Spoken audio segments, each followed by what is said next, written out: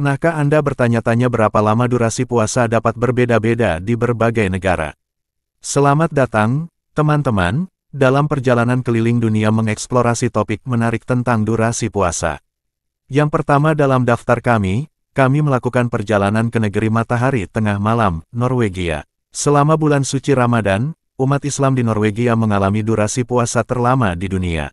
Karena lokasi geografisnya, siang hari di Norwegia bisa mencapai 22 jam, membuat periode puasa menjadi sangat lama.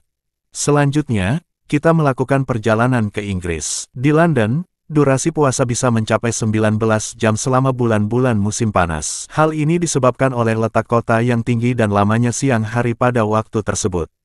Saat terbang ke selatan menuju Maroko, kami menemukan durasi puasa yang jauh lebih pendek.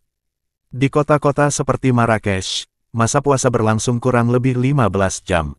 Hal ini disebabkan kedekatan Maroko dengan garis katulistiwa, di mana jam siang hari relatif konstan sepanjang tahun. Bergerak lebih jauh ke selatan ke Tanzania, durasi puasa semakin berkurang.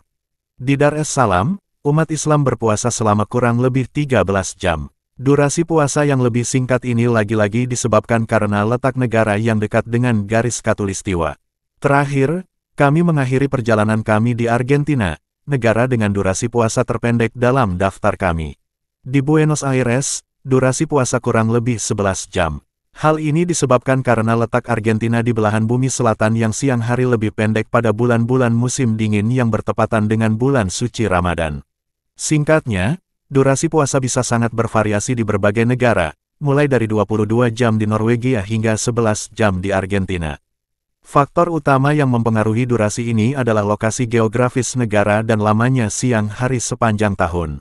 Terima kasih telah bergabung dengan kami dalam perjalanan yang mencerahkan ini. Kami harap Anda menikmati penjelajahan durasi puasa di seluruh dunia ini. Sampai jumpa lagi, tetaplah penasaran dan teruslah menjelajah.